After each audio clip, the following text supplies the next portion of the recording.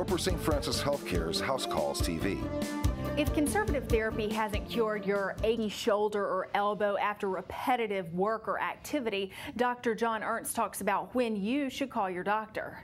I think any discomfort that uh, approaches the point where it disrupts the activity you like to do during normal living or ability to perform certain jobs or activities uh, or extends for a duration more than a reasonable amount of time ought to be evaluated. Once your doctor identifies the cause of your pain, he or she has several treatment options that can help you get back on track. Uh, rehabilitation of certain muscle groups, uh, potential splinting, uh, anti inflammatories, which may even include injections um, certain other types of therapy modalities, uh, and in some cases, surgery. Due to advances in orthopedic technology and surgical techniques, these procedures are much easier on the patient. Recovery time is improved, the success factor is better.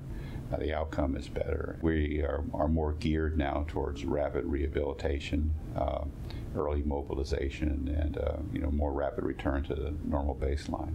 For more information, call 402 CARE. For House Calls TV, I'm Merritt Buck. Roper St. Francis Healthcare's House Calls TV.